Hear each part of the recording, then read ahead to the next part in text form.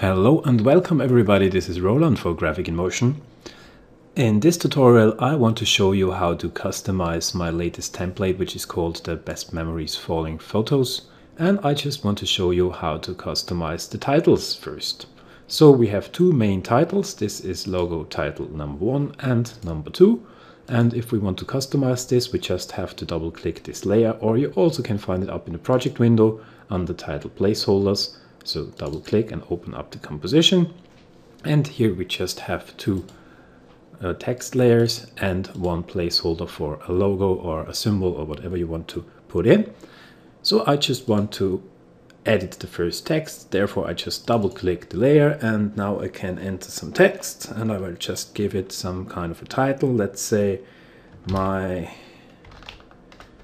journey to Brazil. Oops. And it was in 2009. And then I can just enter some subtitle and we'll type in where I've been. I've been to Bahia, oh geez, Sao Paulo and Rio de Janeiro. And now I can just adjust the size and everything a little bit. Let's make this a little bit smaller. And let's make this a little bit bigger so it lines up more or less. And now I could also put in another graphic instead of this here. I could put in some kind of a Brazilian flag or whatever. I don't have such a flag now, but I just will show you how you can import something else here. So I will go to import and import file. And let's say I just will take one picture here. It doesn't make a lot of sense, but I just will do it for now. And I will just put it on top of my placeholder here and really scale it down so that it's very small. And now I will move it here and scale it even down more. Oh, that was too much. And I disable my placeholder. And we can just imagine this is some kind of Brazilian flag or whatever. And when I go back to my render comp, now you see that everything updated and looks quite cool. Okay, the next thing we have to do is to edit our end title. It's more or less exactly the same as our first one, so we can open up the title here in our render composition or in our project window. So I will double click here and now you see we have again um, text layers and a placeholder for a logo or whatever. If you want to use a text layer, eye already created one but I did hide it so you have to press the I switch and disable the other one now you can type in some text, thanks, or whatever. Thanks to everybody I met during this journey. It was very nice.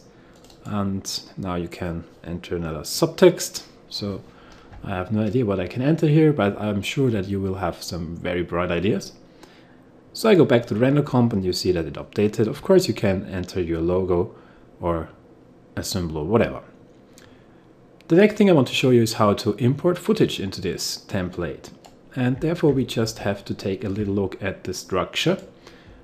Let's open up in the project window the footage placeholders folder. When you open this up, you will see that there are two subfolders, the horizontal footage and the vertical footage.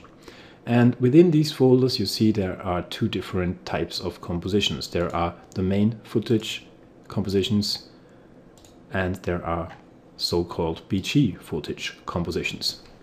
So what does it mean? The main footage compositions, as you can see when you take a look at the render composition, are all the compositions which are listed here and these are all the photos which fall in front of our camera, slow down and which you can take a really close look.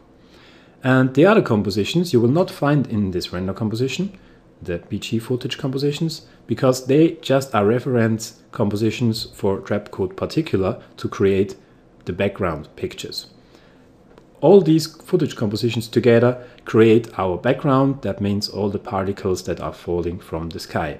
I wanted to add some extra background footage because I just wanted to give it a little bit more randomness so that not only the main footage creates all the falling pictures so now we have four horizontal background footage compositions and two vertical background footage compositions where you can also or should also put in some photos uh, so that the whole look gets a little bit more of randomness.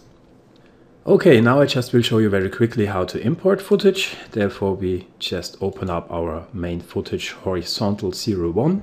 You always see that in the preview window, the placeholder is has the exact same name as the composition, so you always know where you are and you don't get lost. And so we will just double click here on this layer, or we also could just double click in the project window to open it up. And now I will import some pictures. So let's go to File, Import, and Import File. And again, I will choose a beautiful picture from Brazil. Um, this one is really cool. So open it up and drag it under the frame. That's kind of important that you want to drag it under the frame. And now I can scale it Oops, that was the wrong layer, sorry. I want to scale the picture, of course. And now I can also add in some title here. So I will double click the title layer, the text layer here, and just write in where it was. Let's let's say um, sunset at Moho